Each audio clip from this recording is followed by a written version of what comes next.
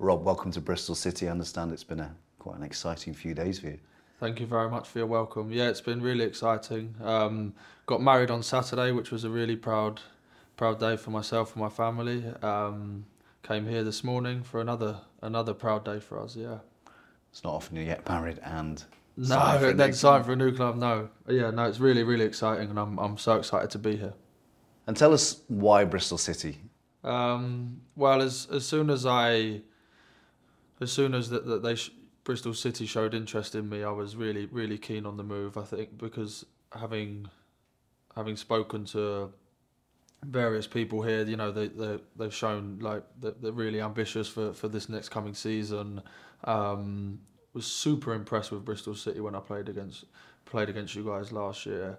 I'm really impressed. So it's it feels like with this look, you know, I've had a brief look at the squad and stuff. It feels like a really nice blend of youth with a bit of experience and stuff like that. And I feel like I can come in and um, with with the championship experience I've got and really, really add to that and and, and hopefully bolster bolster things. And no, I'm I'm just really excited to get going. Yeah. And on that experience, you've had what, more than 120 appearances yeah. over the last three years for, for QPR.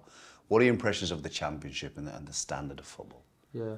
Um, it's it's such a funny league. I know everyone says it, but it's you know everyone really sort of can give everyone a game. It's really it can be really um, unpredictable, um, which I guess makes it exciting. Um, but no, it's it's it's it's a good league, and I think what I've like I just said, when Bristol City showed their interest here, they, they showed their ambition, and hopefully we can move up the table in this division and really really show some some good stuff this year.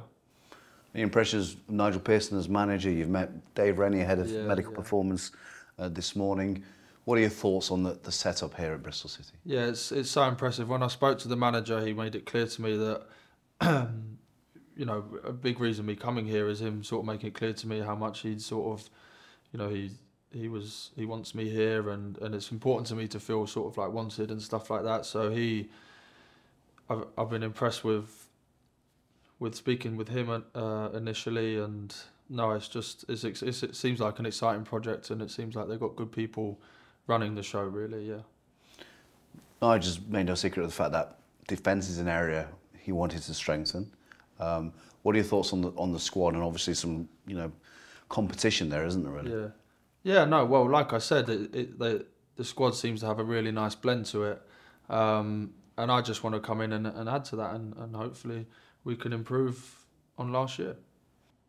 I will always give everything I've got. I'll always give give my all. Um, I wouldn't dare walk off a pitch having not done that, so the fans can expect that from me and you're at kind of peak of your of your career really, and yeah. another three years ahead of you with Bristol City. What are you hoping to achieve both personally and for the club?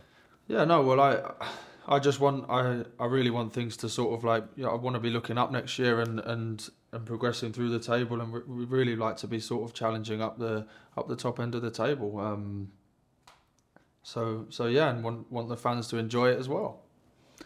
And your playing style, Rob, how would you describe that? Yeah.